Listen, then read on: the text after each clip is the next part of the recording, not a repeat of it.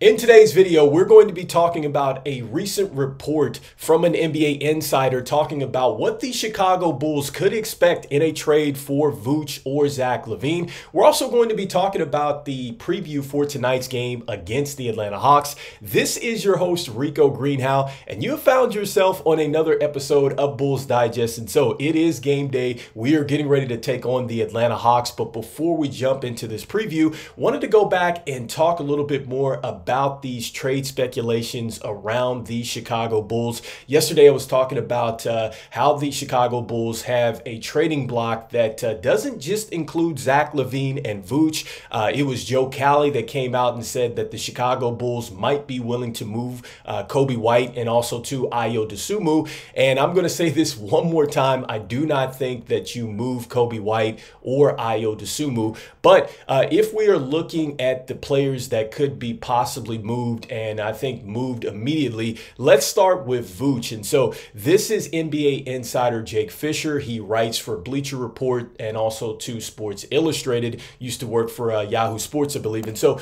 this is what uh, he had to say. And so he's talking about the fact that he has talked to a, a GM, and this GM has said that uh, Vooch could be moved for multiple second round picks. And so, you know, I think that uh, the Chicago Bulls really can get a little bit more out of this deal, especially if Vooch is continuing to play as well as he has played. I think that the Chicago Bulls could perhaps maybe get a protected first round pick out of this deal, um, depending on what the uh, the needs are for this team that's looking to get him. Because if you are getting Vooch right now, you're definitely trading for a player that you think is immediately going to help you uh, in your title window. I don't think that this is one of those situations where you're looking at this uh, as a long term deal. I think that this is a player that you get over if you feel like he is going to push you out of the Eastern Conference, out of the Western Conference, and perhaps you're gearing up for, um, you know, if you're in the West, you're you're certainly gearing up for a team like the Boston Celtics. You're you're thinking that you're going to need a big man that's going to be able to score inside and be able to knock down the shot effectively.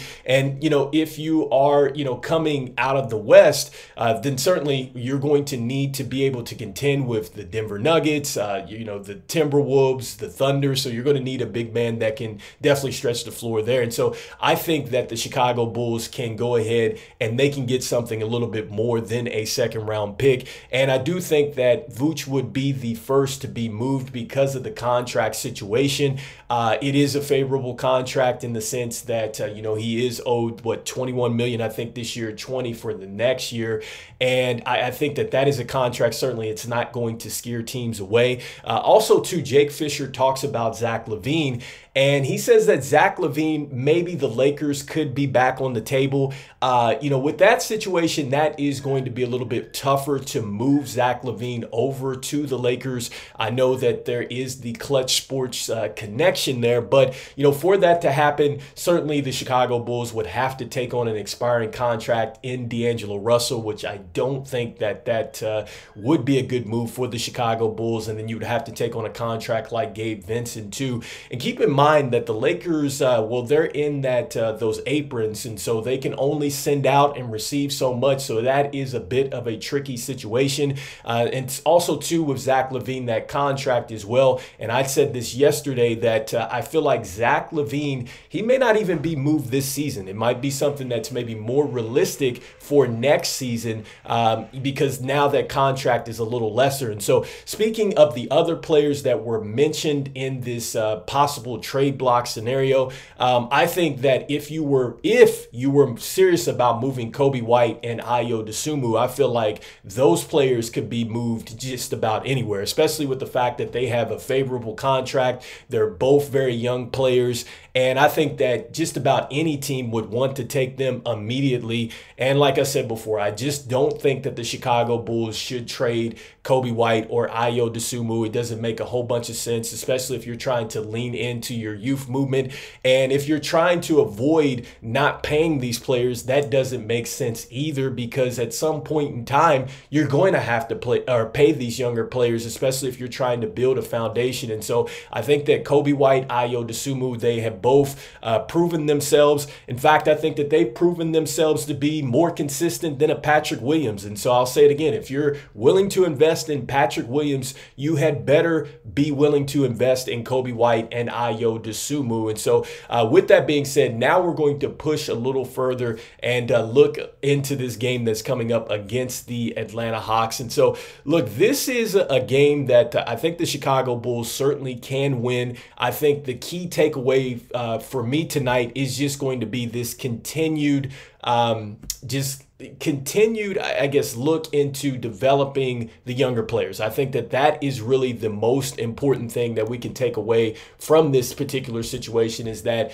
we need to make sure that we play these younger players as much as possible. And so that means that I would love to see another 17 plus minutes from Matas Buzelis. I think that the best way for him to get out there and really, uh, you know, become the player that he can become is to go out there and throw him out there in some actual NBA minutes against some tough players out there and see what he can do. And yes, I get that he's not the best defender. I get that he uh, doesn't have the best offensive game out there. But uh, one thing that he does do is play hard, and that's something that Stacey King talked about. Uh, in fact, he, he has been a coach before, and he said that look, if he is willing to play hard I can live with the mistakes that I'm going to get from Matas Buzelis. And I, I will echo that and say I'm willing to live with that with any of these younger players out there. As long as they are giving me the effort out there, I'm okay with going out there and playing these younger players. And so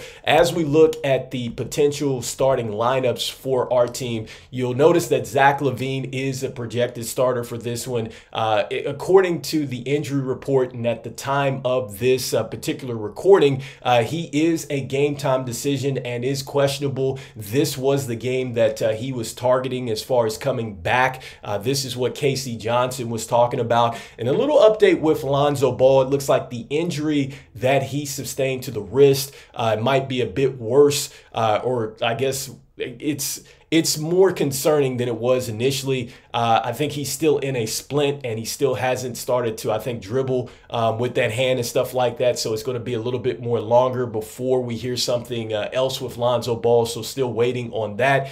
And then also, too, of Jalen Smith, he's still a game time decision uh, with the knee or questionable. And then we have Torrey Craig, who is questionable with an illness. And so those are the major injury updates going into this game. Um, with the Hawks, um, they don't have DeAndre Hunter. I think that that was kind of the main takeaway from the uh, from the injury report for the Hawks.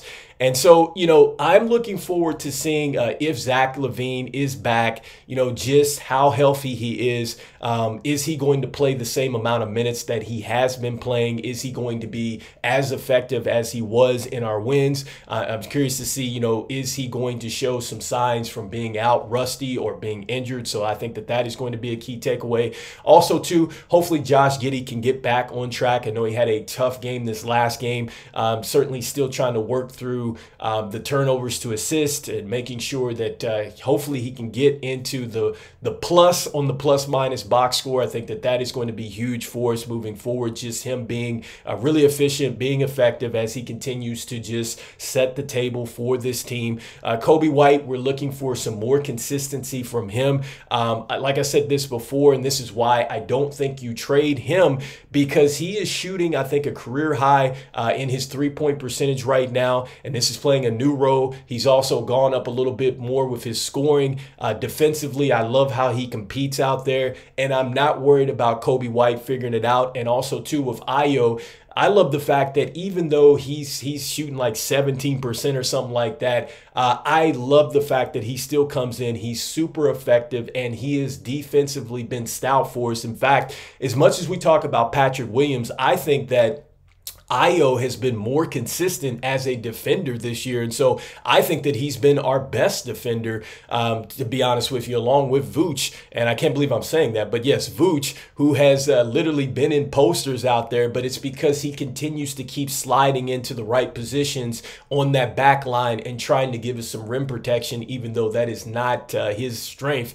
And then with Vooch, look, he continues to have a great season. And uh, I've just led about uh, him possibly being traded. I think if he continues to play well and the Chicago Bulls are serious about leaning into this youth movement, I absolutely can see uh, where he is traded uh, before the trade deadline here. And so, lastly, you know, with the Hawks, I think that I'm looking forward to seeing a little bit more of uh, Zaccharie uh, I have watched a couple of his games uh, via League Pass, and I have saw that uh, he continues to get minutes and he continues to respond. I think at this point in time, he's up to double figures. And I think that he's getting more comfortable as he continues to get pl- or get playing time, which is why I think just as a Bulls fan, uh, it's upsetting to not see Matas Buzelis get that opportunity. I think that that is the only difference uh, between um, you know uh, between Riza and then also to Bub Carrington, Alex uh, Sarr, like all these other players that are getting playing time. They seem to be figuring it out, and I get that their situation is maybe a little bit more different, but there's no excuse because the Hawks, they're really right where we are as far as the roster construction, and they're right there where they're like the, the bottom of the middle of the East, and like they really haven't done anything to this roster to make huge changes one way or the other and they're still getting minutes for their rookie. And so I think the Chicago Bulls have no excuse in not playing Matas Buzelis. And lastly, I'm looking forward to seeing Dalen Terry, Julian Phillips, um, you know, all these players that, you know, we just have question marks about. Uh, are they going to be huge in our, our building for the future? And I think that they are. And I think that we're starting to see that there's more and more that they can do. But once again, Billy Donovan has got to figure out a way to get these rotations figured out to where you're getting them some playing time. And so that means that, look, if LaVine and Vooch are still on the team, I know that you're trying to maximize their trade value or whatever, but you might have to cut some usage rate down because you still need to prioritize the youth movement. So, with that being said, I will see you guys on the post game. Let me know what your key takeaways are, you know, about uh, all this trade speculation that we hear yet again around Vooch and LaVine and this team. I know it just gets ridiculous, uh, you know, with just all these trade speculations and nothing ever materializes or really gets this Bulls uh, team in the right direction. So, I'd love to hear what your thoughts are. And like I said, I will see you on the post game. Just want to thank everybody out there for liking, sharing, and subscribing. It means a lot to us here at Bulls Digest as we try to reach 5,000 subscribers before the NBA season ends. So make sure that you go ahead and mash on that subscribe button. It's about 64.2% of you that watch are not subscribed to the channel. And look, even though the Chicago Bulls may be at the bottom of the East, I don't know if we're headed towards tanking. I don't know if we're headed towards a play-in situation. Whatever it is, I'm really excited to see what these younger players can do because I know at the end of the day, no matter what happens with the record at the end of this year, it is going to be all about these younger players and how this team is going to pivot moving forward and hopefully we can become a contender again. So I'm saying go Bulls, and I'll see you in the post game. Peace.